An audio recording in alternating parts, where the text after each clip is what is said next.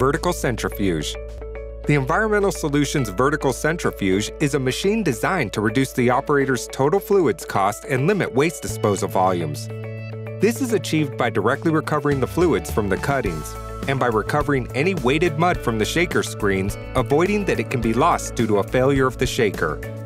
The Environmental Solutions Vertical Centrifuge is designed to recover the liquid phase of the drilling fluid from drilled solids by exposing the latter to very high centrifugal acceleration forces which improve fluid separation from the drill cuttings. By further clarifying the costly liquid phase which can be returned to the active mud system.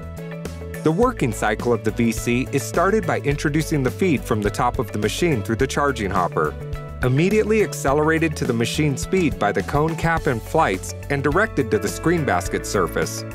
Liquid-solid separation starts immediately after contact with the screen basket surface.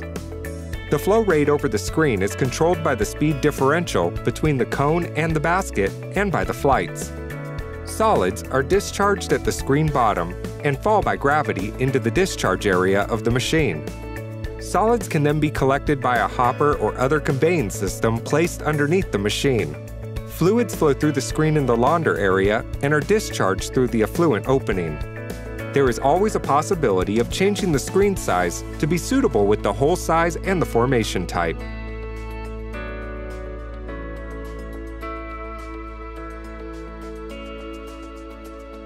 The benefits of using the drying system are reducing environmental impact through the OBM discharge to the environment.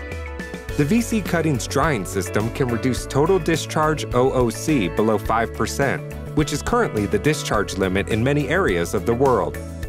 As a result of recovered OBM being returned to the mud system, the drilling fluid recovered provides a huge saving to the client through cost saving recovering mud, and ultimately reducing the volume of waste generated by 40%. Reducing the waste transportations and cutting skips used by 40%.